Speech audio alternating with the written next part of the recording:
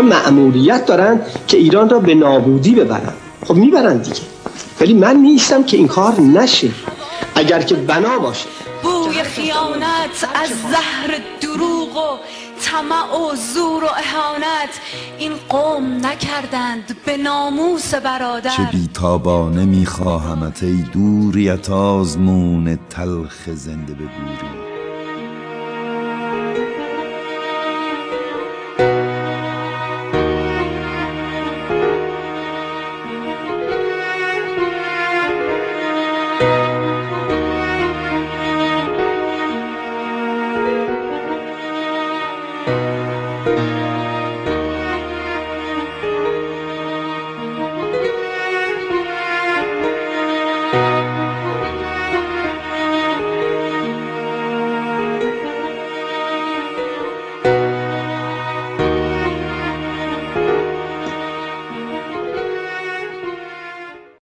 یاس میریزد از بهار تنت. غرق نور است شام پیرهنت. هوس دیدنت هوای من است. کوچه گلریز شد به شب زدنت. از امیریه تا بهار شدم مست. از غمزه غمزه سخنت. باز کن دستهای عاشق را تا نهی سر به شانه های من. کوچه روشن به رفت و آمد تو. نغمه خان شد جهان به آمدن. علیرضا نوریزاده چهارشنبه هفتم اکتبر. شانزدهم مهر ماه به شما سلام.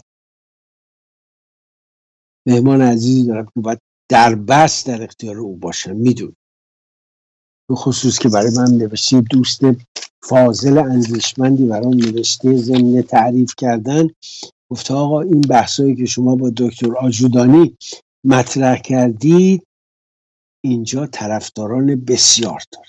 خب خدا رو شکر با چه مفصل برام نامه نوشته دوست نازنینم و در مورد فرد دیگری هم اظهار نظر کرده که بماند حالا برای شما ایران فردا. ولی یک موضوع رو دیدم. فقط این توضیح رو میدم برای که دوست نازنین من که این مطلب رو نوشته این اشتباه لپیش رو جبران کنه. خب زیادم لپین ایشون نوشتن در تاریخ ایران یک نفر فقط لقب آقا داشت اونم میزا حسن خان مصطفی الممالک. درست. پسر یوسف خان مصطفی الممالک که صدر اعظم ناصرالدین شاه بود. خود این مرد بزرگ هفت دوره صدر اعظم و نخست وزیر قاجاریه بود بعد از مشروطیت و بعد در زمان رضا یه دوره بود. ولی اونجا که ایشون نوشته که در دوران ملی شدن نفت زندیات وسوق الدوله اون زمان رفته بود. در همون زمان رضا بعد از نخست وزیر و کنار گیری وسوق الدوله خیلی علاقه به آسبازی داشت. و می‌رفتن با چند تا از دوستایی که داشت میشستن بازی می‌کردن و سردار اسد بختیاری بود. یه مدت دوست دوله بود تیمورتاش بود. اینا با هم جلساتی داشتن روزای جمعه. آقا در واقع مرحوم مصطفی الممالک در ونک خانه بسیار زیبایی داشت و باغات بسیار زیبا باغ توت. و تا همین اواخر ما یادم نوجوان بودیم می‌رفتیم توت وسوق دوله. میکندیم ریخته بود میخوردیم. حالا بعد بر سری خاندان اشرافی بزرگ چه آمده شگفتی زده میشه آدم که این رژیم دشمن هر آنچه بود که اعتبار و عظمت و فرما فرما پنجاه تا بچه داشت چهل پنج تا بچه داشت همه آدمای حساب دختراش پسراش. اثر کدومشون رو می‌بینیم تو ایران؟ همه رفتن همه رو نابود کردن. این توپخانه دروغ و فریب این کشمیری هیچی بگو نابود کرد. و همینطور بعد از اون. به هر حال دکتر آجودانی عزیزم سلام می‌کنم. خوش آمد. سلام بر تو عزیزم و بر همه شنوندگان و بینندگان برنامه های تو. دکتر آجودانی از تاریخ گفتیم از ملت و ملیت گفتیم. یه دیشب پریشب در تلویزیون بی بی سی یه بحثی بود بر سر زبان. و اینکه آیا آقا ما باید در مدرسه زبانهای مادری رو تدریس کنیم یا در کنار زبان فارسی اون زبان هم آموخته بشه. و از جمله محمد امینی در این بحث بود که به نظرم بسیار معقول و قشنگ صحبت کرد در اعتبار و ارزش زبان فارسی. البته یه دوست دیگری بود آقای قاضی کرد که ایشون معتقد بود ده مثلا در مناطق کردشین باید زبان کردی فقط درس داده بشه.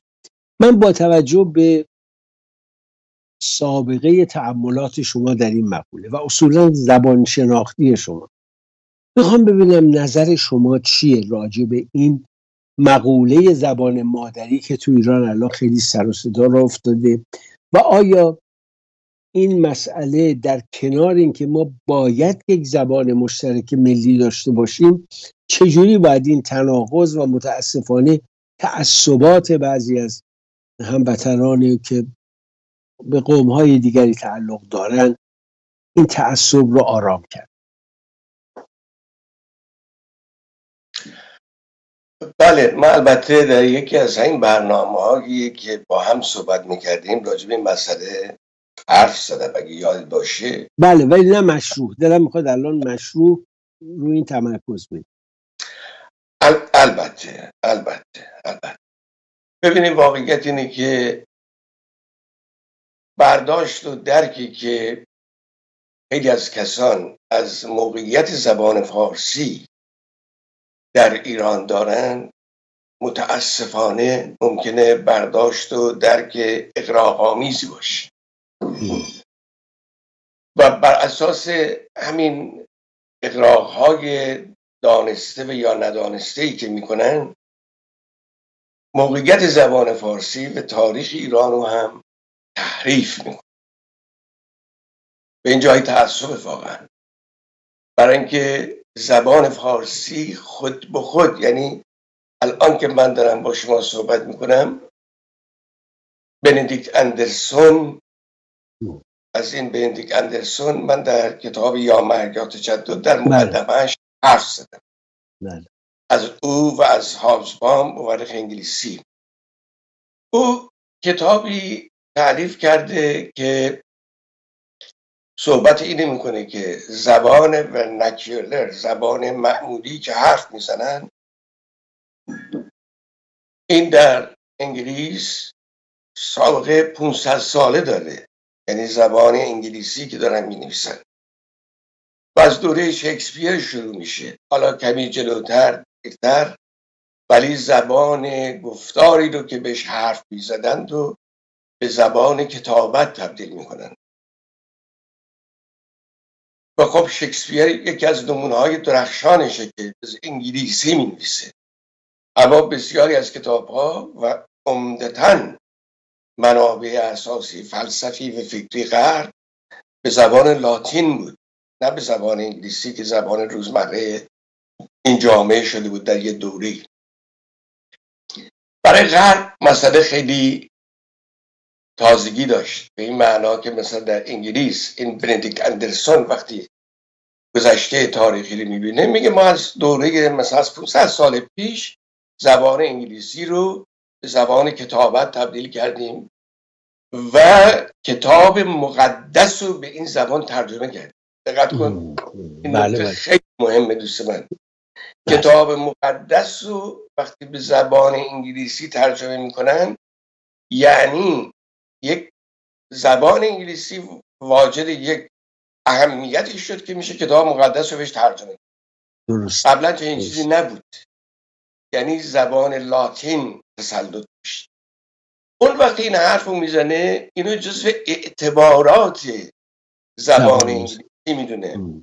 به اینکه چنین اتفاقی افتاده. اما بندیک اندرسون خبر نداشت که در ایران ما در منطقه به در ایران بزرگ در بخارا و سمرقند شما در هزار و خوردی سال پیش حالا اینکه 500 سال میگه ما قرآن را به زبان فارسی ترجمه کردیم و به اصطلاح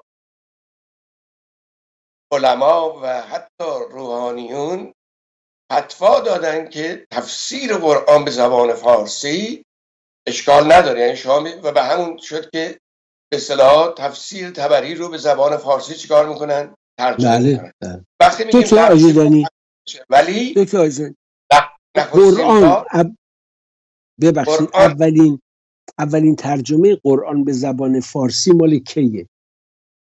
بله ببینید ما من همین موضوعی که میگید و در همین کتاب یا مرگ یا تجدد ترجمه های مختلف قرآن این نخستین باریه. ام. وقتی قرآن خب مثلا چیزهای سوره حمد رو قبلا ترجمه کرده بودن. بخشاش بله. ترجمه کرده بودن. اجازه داد حتی, قر- حتی نماز میخوندن به زبان فارسی. اینو اجازه داده بودن. اما وقتی میگم نخستین بار چون ببینید خود قرآن کلماتش قداست داره. و همون اندرسون هم از این قداست کلمات عربی اسم می‌بره. نام بله. و خب این که اینو به فارسی بنویسند خب ما هزار خودی سال پیش در ایران بزرگ و با همدلی و همراهی به اصطلاح کسانی که اهل فتوا بودن به لحاظ شرعی گفتن که آقا نوشتن تفسیر قرآن به زبان فارسی اشکالی نداره. و نداره حتی تا اونجا پیش رفتن گفتن برای اینکه این زبان فارسی حتی میگه زبان مقدس یعنی به اصطلاح کتاب مقدس رو وقتی به انگلیسی ترجمه می‌کنن در واقع او از این تعبیر به عنوان یک تحول اساسی تاریخی یاد می‌کنه یاد می‌کنه خب. اون 500 سال پیش تاریخ غرب در نظر می‌گیره. ولی ما در خود ایران عبارتی رو که می‌خونم براتون اینه. میگه در دوره نوح سامانی این اتفاق میفته. پس علمای ماورا نهر را گرد آورد. به این از ایشان فتوا کرد که روا باشد که با این کتاب را به زبان پارسی گردانیم. گفتند روا باشد. خواندن به نوشتن تفسیر قرآن به پارسی مر کس را که او تازی نداند. از قول خدای عزوجل که گفت و ما ارسلنا من رسول الا به لسان قومه. گفت من هیچ پیغامبری را نفرستادم مگر به زبان قوم او آن زبانی که ایشان دانستند. و دیگر آن بود که این زبان پارسی از قدیم باز دانست. تو دقت کنید. میگه بله. اونجا میگه پیغمبر خدا پیغمبر رو کتاب مقدس رو به زبان قومش فرستاد. بله. که اون قوم بله. زبان زبان عربیه. و میگه و دیگر اون بود. حالا چرا به فارسی کردن؟ میگه این علما اجازه دادن و بعد اقراق رو ببینید. یعنی آگاهی به زبان فارسی رو. میگه و دیگران بود که این زبان پارسی از قدیم باز دانستند از روزگار آدم تا روزگار اسماعیل پیغمبر. همه پیغمبران و ملوکان زمین به پارسی سخن گفتندی و اول کس که سخن گفت به تازی اسماعیل پیغمبر بود. و پیغمبر ما صلی الله علیه از عرب حضرت. از عرب بیرون آمد. به این قرآن به زبان عرب بر او فرستادند. به اینجا بدین نهایت زبان پارسی است. و ملوکان این جانب ملوک عجم دقت کنین در اون دوره وقتی داره صحبت می‌کنه میگه اون کتاب به زبان عربی بر رسول الله نازل شده. اینجا سرزمین چیه؟ سرزمین پارسی زبان پارسی نهایت. میگه اینجا و بدین نهایت زبان زبان پارسیه. و ملوکان این جانب پس بفرمود ملک مزفر ابو صالح تا علمای ماورا نهر را گرد کردند از شهر بخارا از شهر بلخ از باب الهندو از شهر سمرقند و از شهر سپیجاب و فرغانه و از هر شهری که بود در ماورا نهر. و همه خطها بدادند بر ترجمه این کتاب که راه راست است. یعنی راه راست که این کتاب. بدین ترتیب برای نخستین بار قرآن به تفسیر آن در قرن چهارم هجری به زبان فارسی ترجمه شد. یعنی ما کتاب مقدس رو در قرن چهارم هجری به تفسیرش رو به زبان فارسی ترجمه می‌کنیم. زبان فارسی اونقدر اهمیت داره که میگه که همه آدم اول بشر از ابتدا تا فلان موقع زبان فارسی رو بلد بوده. این حرف امروزی نیست. بله. یعنی بگید مثلا یک شوونیست فارس یا یک ناسیونالیست حرفه‌ای در امروز داره چیکار می‌کنه؟ اون زمان این حرفها نبود. یعنی اعتقاد و اعتبار زبان فارسی این همه اهمیت داشت.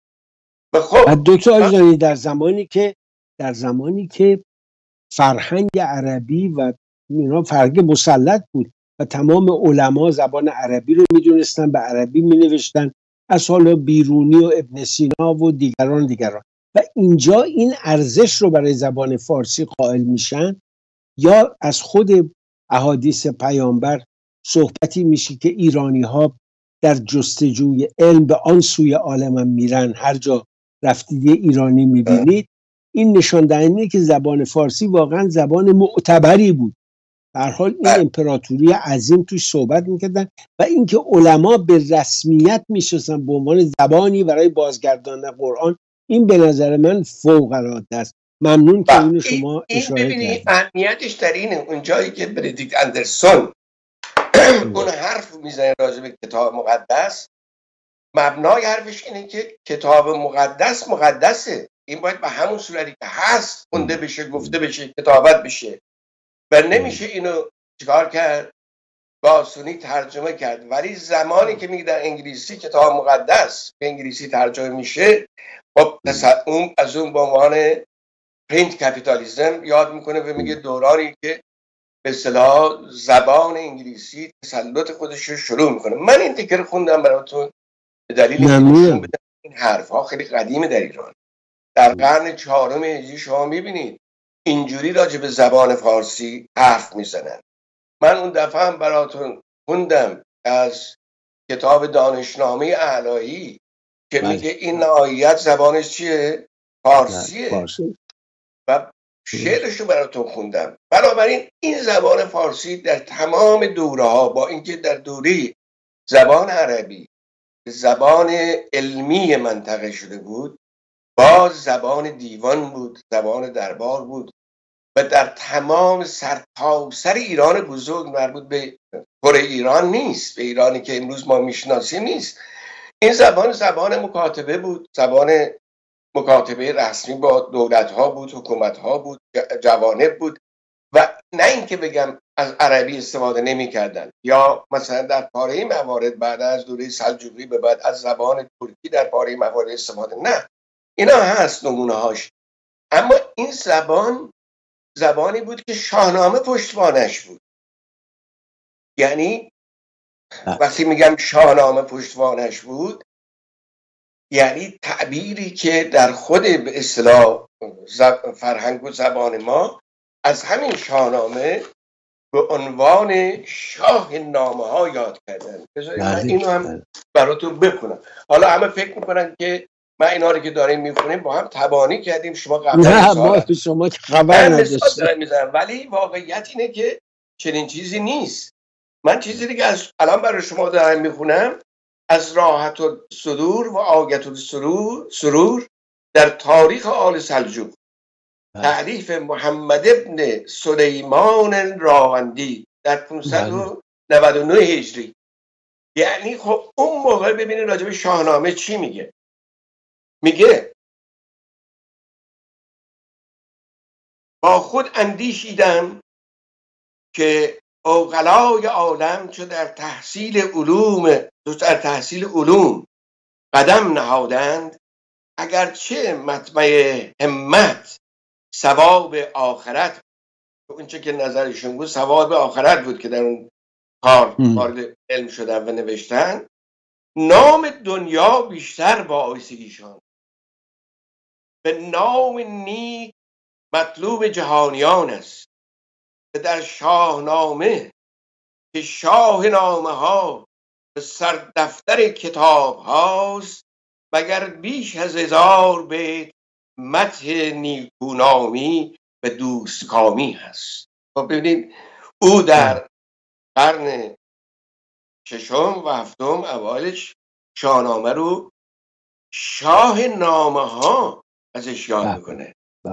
به سردفتر کتاب ها پس اهمیت داشت زبان فارسی یعنی ما دکتر دکتر. یه نکته رو من خدمت بگم داشتم میخوندم سفرنامه ناصر خسرو رو و شما می‌بینی وقتی او به اون دیاران میره به روم در واقع سفر می‌کنه که حالا سلجوقی ها هستن مقدماتش همه جا زبون فارسی یعنی تمام شهرهایی که امروز شهرهای عمده ترکیه است زبون فارسی در تبریز میره رشید وطفاتو میده میگه میاره بعضی مشکلات هم بهش براش اصلاح کردم.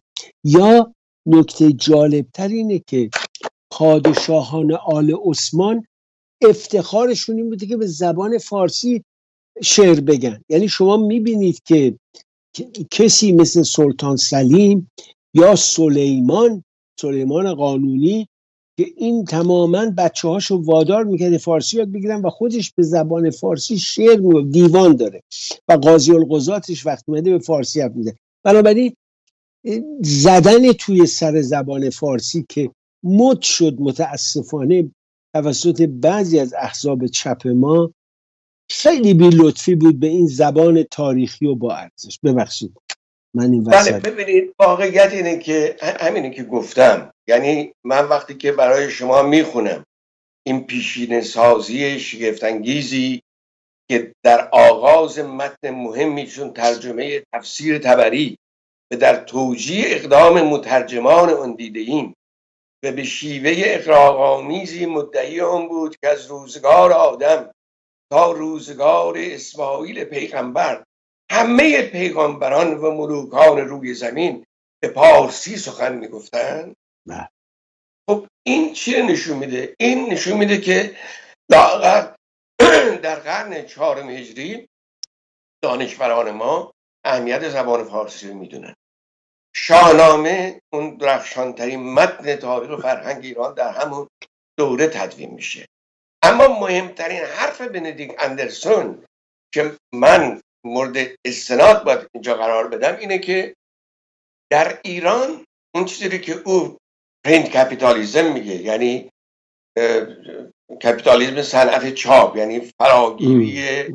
جهانی شدن صنعت چاپ در ایران وقتی ما مطبوعات رو شروع می‌کنیم به نگارش در آوردن روزنامه ها نوشته میشن نخستین روزنامه ها و مهمترین روزنامه هایی که در ایران نوشته میشن تا قبل از انقلاب مشروطه همه به زبان فارسی. بله. با اون موقع. رضاشاهی در کار نیست. رضاخانی در. کار نیست.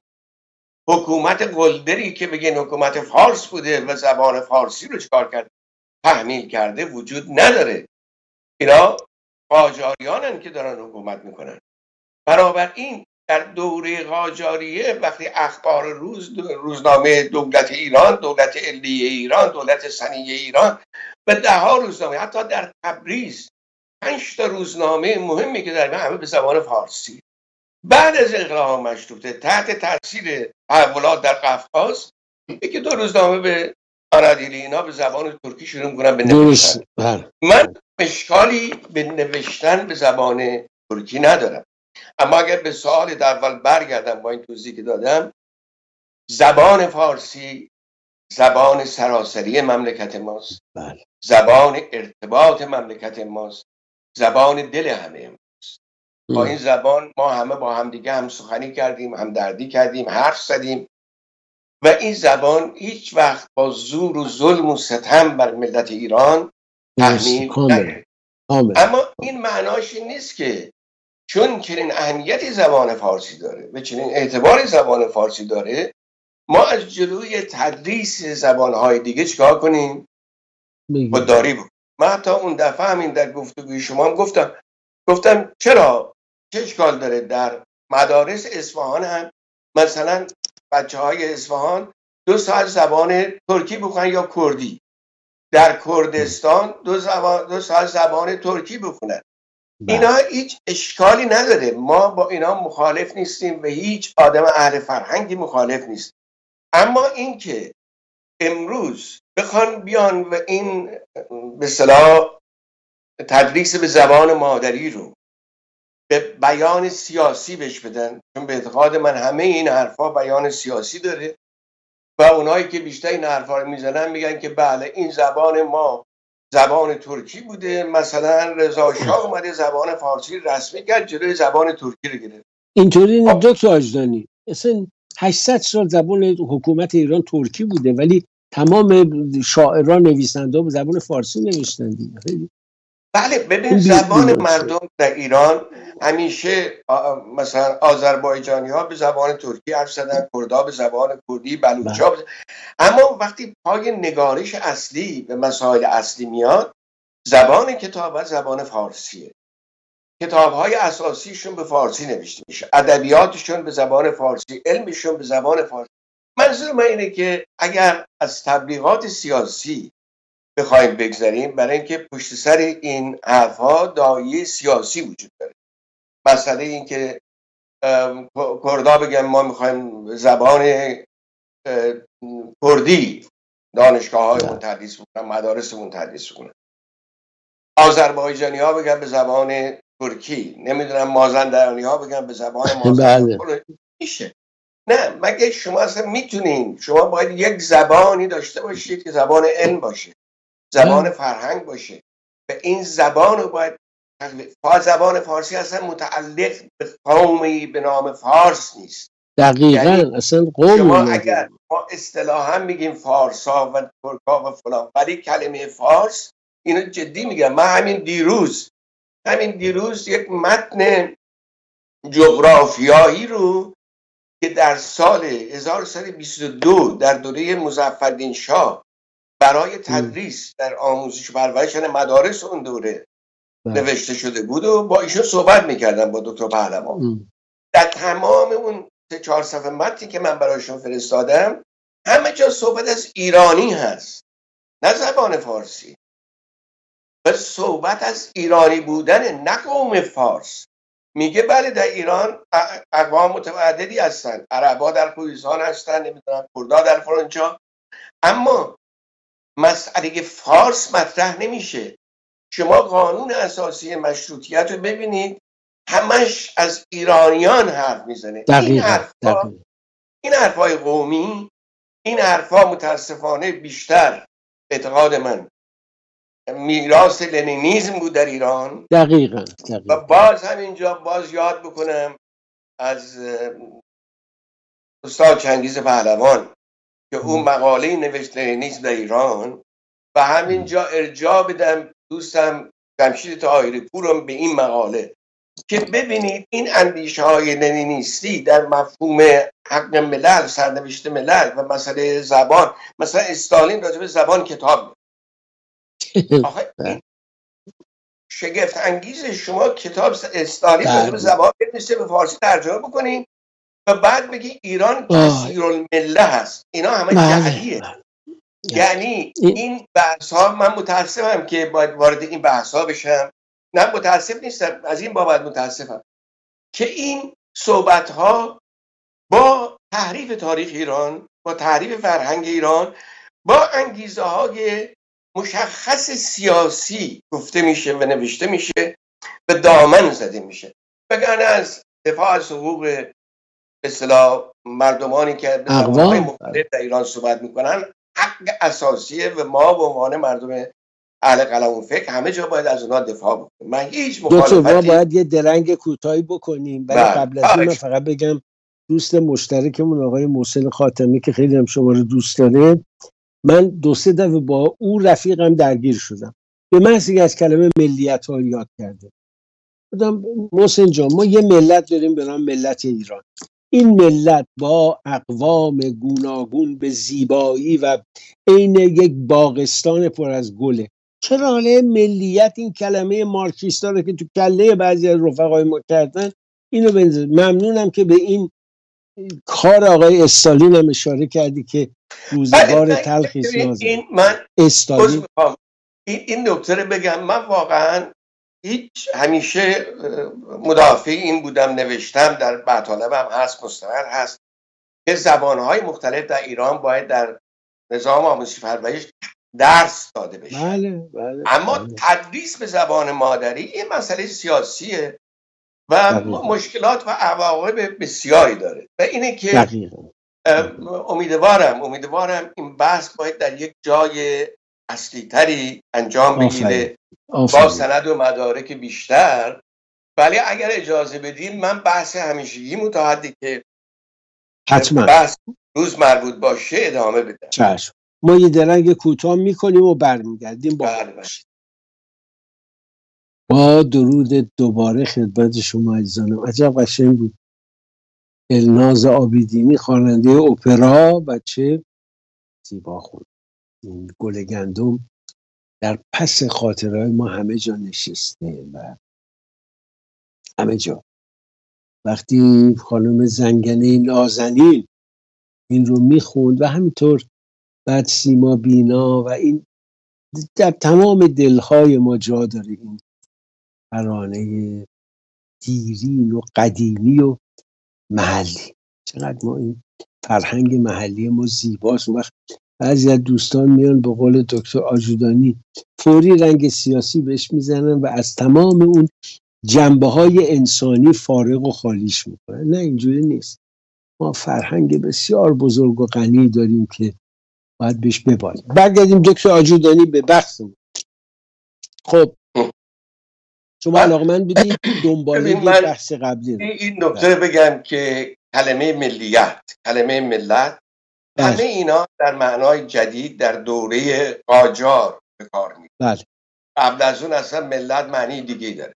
و وقتی هم در. دوره قاجار در نوشته های مثلا میرزا آقاخان کرمانی دیگران از در ملت ایران میگن و بعدها کم کم تدریجا وقتی نشنالیتی مطرح میشه ملیتتون نمی‌پرسن میگن ملیتتون. ایرانی.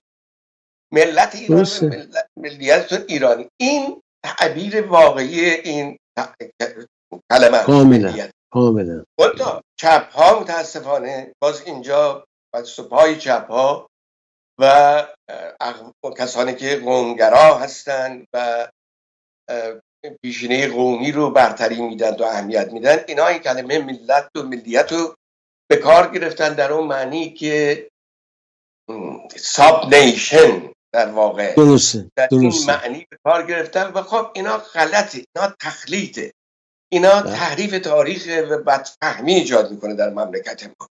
بنابراین اگر به همین بحث من بخوام ادامه بدم امروز ام.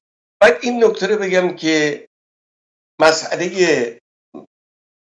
به اصطلاح ناسیونالیسم پدیده جدیدیه. ملت در ملت ایران که ما می‌شناسیم به معنی هم آهاد مردم ایران که حقوق سیاسی دارن و حقوق اجتماعی دارن مفهوم جدیدیه. و قبل از دوره قاجار از مردم ایران هرگز به عنوان ملت در معنای سیاسی به معنای ایرانی استفاده نمی‌شد. ملت که درسته. می‌گفتن به معنی ملت مسلمان مردم مسلمان شریعت. دین همون به ملت ابراهیم. بنابراین اما این حرف این حرف من که اینها مفاهیم جدید وارد ایران میشه معناش این نیست که یک آگاهی تاریخی نسبت به خدمت ایران گذشته ایران و تاریخ ایران وجود نمی داشت ما در سر تا سر متون ادبیات ما به فرهنگ ما این آگاهی تاریخی رو به شکلهای مختلف می‌بینیم. یعنی من الان نمونه های براتون می‌خورم که می‌بینیم که سرداران دوران شاه اسماعیل که بیشترش هم اصفهانی بودن اینا از اینکه شاه اسماعیل پادشاه ایرانه و نوادگان مغول به تیمور به دربارش میان و پناهنده میشن دلشون خنک میشه. بنابراین یه ناراحتی داشتن یه درک و فهمی از تاریخ داشتن.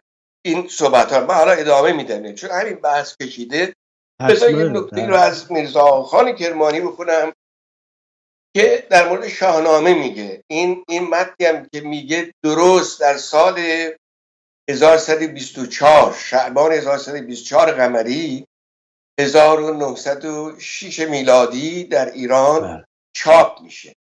اما نوشتش در واقع مربوط به 1110 به اصطلاح 1110 قمریه که خان کرمانی نوشته.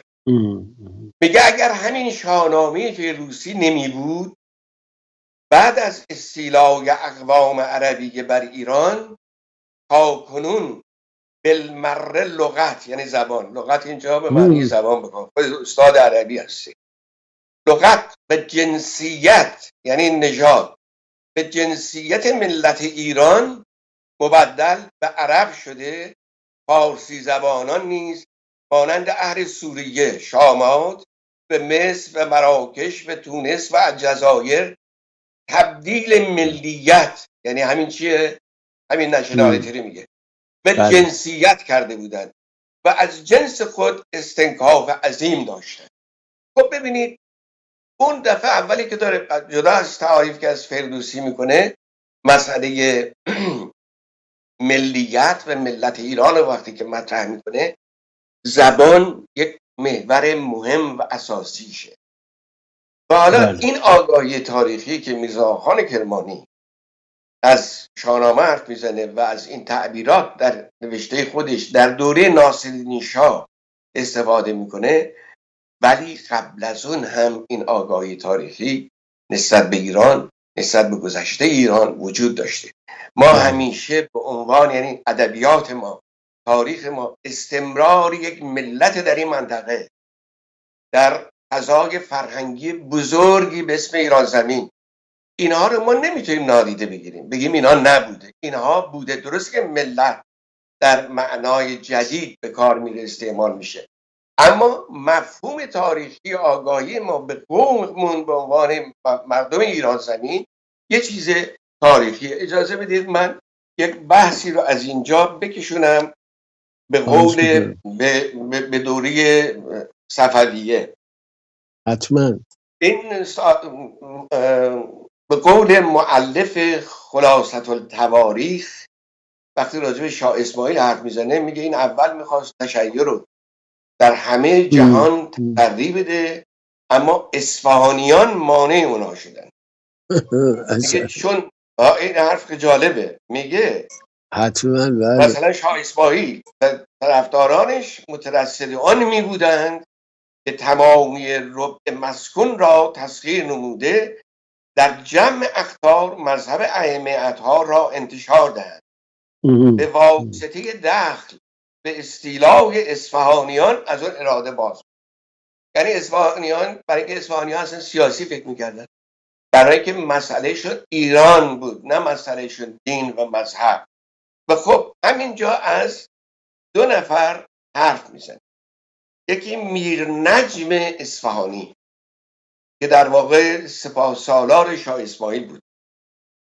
و برای اینکه ببینید این میر نجم اصفهانی چه جور برداشت و به اصطلاح نگاهی داشت نسبت به مسائل مملکت ما؟ مطالبی ازش نقل شده که من به اشاره براتون می‌خونم.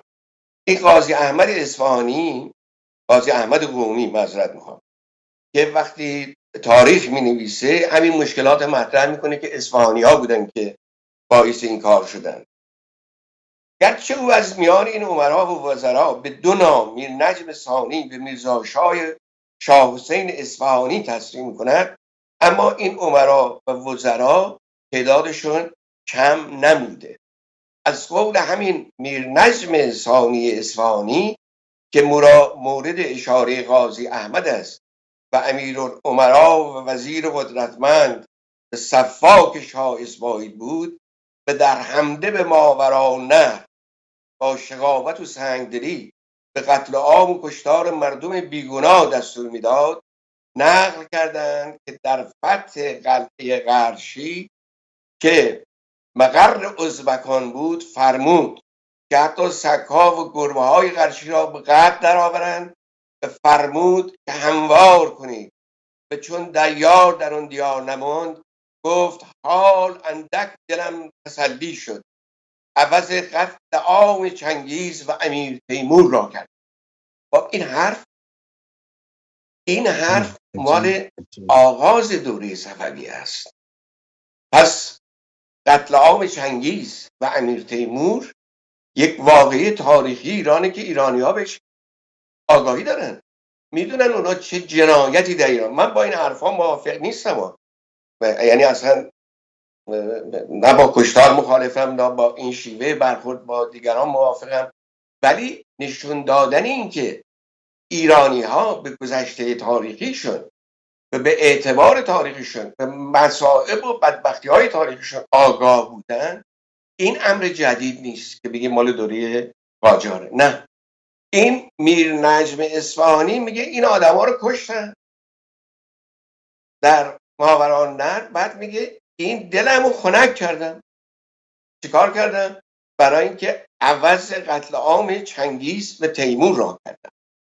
نیز نوشتن که در همین این خیلی مهم این تیکه که در همین قتل عام به فرمان او پانزده هزار کس از صغیر و کبیر و برنا و پیر به قتل آمدند و در پاسخ امیر محمد یوسف که از او خواست که از خون سادات ترمزی که با زن و فرزند به مسجد جامع شهر پناه برده بودند درگذرد گفت قاضیان شهری را که به جنگ می‌گیرند ملاحظه سید و غیر سید نمی نماید اینجا دقت کنید. وقتی میگه سید یعنی ولایت پیغمبر. بله. اونجا از چنگیز حرف می‌زنه از تیمور. به اینجا هم اون نفرت خودش از حمله عرب به ایران. مطرح می‌کنه. من چرا اینو میگم؟ اینا رو می‌خونم دکتر نویزاده برای اینکه ببینید این آگاهی های تاریخی وجود داشته. مردم ما تا به نسبت دیور جوانی که ما می‌شناسیم دور بر خودمون و حتی نسبت به جوان مثل, مثل انگلیس یا فرانسه ما آگاهی تاریخی نسبت به گذشتهمون رو بیشتر داشتیم و بیشتر بر سر اون فکر کرد آقا این میر نجم اصفهانی یه سپه سالار اصفهانی. ولی وقتی که دیگران میان به دربار شاه اسماعیل پناهنده میشه میگه خوشحالم که امروز می‌بینم نوادگار تیمور چنگوز اینجا به التجا میان. خب این به اصطلاح ارق ایران دوستی ارق یک جور فهم کلاسیک و سنتی میهن میهن پرستی اینا تو تاریخ ما هست. یه نکته رو گفتی من طالبش توجه نداشتم. روی مسئله اصفهان و مکتب اصفهان تعملش روی زبان فارسی و تاریخ غیره. آدم جالبه براش. بعد می‌بینه همین مکتب اصفهان می‌رسه به جنگ اصفهان. به حقوقی و گلشیری و به اون بله. کرباسی و بچه های نازنین شهدادی و و تمام اون اورنگ خزرایی و محمد حقوقی و, و میرلایی و عجیب عجیب. من اصلا به شهر زادگاه پدریم از این نگاه توجه نکرده بودم. چون همیشه یک عامل مذهبی اونجا رو اصفهان رو یک چهره دوژم و خشن مذهبی می‌داد. ولی بعد دیدیم که این مردم چه جور اولین گروهی بودن که علیه رژیم جهل و جور و فساد به پا خواستن مرسی که اینو گفتی. ممنون بله. اینا که میگن اینا رو تعصبات قومی رو تعصبات ناسیونالیستی نیست. بله. برای من تکرار اینها و به بیان در آوردن اینها نشان دادن واقعیت های تاریخ در ایران. اینکه ما بله. از تاریخ خودمون یک فهم تاریخی داشتیم یک گذشته ای داشتیم. شما ببینید وقتی شیخ اشراق سهروردی در. قرن ششم هجری عرفان ایران رو نگاه می‌کنه عارفان ایران رو که نگاه می‌کنه برای عارفانی که به صلاح عاشقان ایرانی هن. یعنی به نهله بله. عرفان عشق بستگی در نه زاهد صوفی منش میگه چهار نفر رو اسم می‌بره بایزید بستامی خرقانی و حلاج و میگه اینها از نازل داران حکمت خسروانی هستند بله. در ایران اسلامی. یعنی عرفان دوران اسلامی ما مهمترین بهره و درخشانترین بهره شد که عرفان عاشقانه خراسانه میراث امثال کسانی چون حلاج بایزید خرقانیه و من برای این نام نام ابو سعید ابوالخیر رو هم اضافه کردم. اینها رو وصل می‌کنه یا در نگاه تاریخی خودش می‌بینه که اینها همون تفکر سنتی به اصطلاح حکمت خسروانی رو از ایران باستان در ایران اسلامی دارن چیکار می‌کنن؟ ادامه میدن. خب این یعنی درک پیوسته ای از تاریخ. این یعنی داشتن یک درک از استمرار گذشته ما و بحث شدن اون گذشته به دوران اسلامی ما. این حرف و شیخ اشراق سوروردی می‌زنه. من نیستم که در قرن 21 اینجا در لندن دارم این حرف بزنم او تو مملکت ما اینا رو گفت پس این آگاهی ها به تاریخ ایران به فرهنگ ایران و به اینکه ما یک مردمی بودیم قدیمی. من کلمه ملت کار نمی‌برم الان برای اینکه ملت مفهوم جدیده در این معنا. بله. به به این معنا که ما مردم با فرهنگی بودیم با گذشته تاریخی بودیم. عشق و علاقه به این سرزمین رو در لابلای همه گوشه و کنار این متون تاریخی و فرهنگی میشه دید. و چیز امروزی نیست که بله. مثلا شما آدم در دوره شاه جعل کرده باشن یا در دوره جدید ساخته شما خیلی آدم فروتنی هستی و اون درخت پربار همیشه سرش پایینه. ولی بذارید اینجا من یه چیزی رو برای مردم بگم. من شاید 25 6 سال پیش از دکتر آجودانی ترکیب عرفان خسروانی رو شنیدم و بعد با هم یه صحبت کوتاهی داشتیم راجبش و جالب بود من علاقه مند کرد رفتم دنبالش رو بخونم ببینم چیه. یعنی منظورم ربع قرن پیش این مرد نازنین در جستجوی ریشه های حتی عرفان سر می‌زنه به ما قبل اسلام. اون زمانی که فرهنگ ایرانی مانی رو عرضه می‌کنه مزدک رو موسیقیدانان بزرگ رو شاعران بزرگ گاتها سرودهای زرتوش رو. بسیار ممنونم دکتر آجدانی. وقتمون به پایان رسید. من که سیر نمیشم. هر بارم بسیار من من- منم خیلی ممنونم. ولی اگر یه فرصت باشه کلام بگم. برای اینکه این بعضی ها به من انتقاد می‌کنن که خیلی قولها دادم که راجع مثلا رضا شاه حرف بزنن. نزدم یا راجع به دفعه دیگه شما هر هر ولی امیدوارم در یه فرصتی اینا رو نظم میدم شما آقای دکتر این کار رو قرار بذاریم. هر بار شما خودتونم می‌خواستید می‌تونید یه تاپیکی رو یا دو تا موضوع رو به من بگین وقت من در رابطه با اون سوالاتی رو مطرح خواهم کرد. این خیلی هم خوبه اتفاقا. برای اینکه مردم چیزایی که می‌خوان ما باید پاسخ بدیم بهشون. بسیار ازت ممنونم. بسیار. مثل همیشه پربار و بنای. برنامه بنده رو این همه افزود. ایران سربلند ایرانی سرفراز پرچم زیبای سرنگ شیر و خورشید نشان هماره برافراشته باد. به اتفاق دوست عزیزم استاد دکتر ماشاءالله آژودانی هادی داره بعدی همه شما را به پروردگار عاشقی می سپارم که نه قاسم نه جبار. زیباست بخشنده و مهربان. رحیم مهربان. بدرود.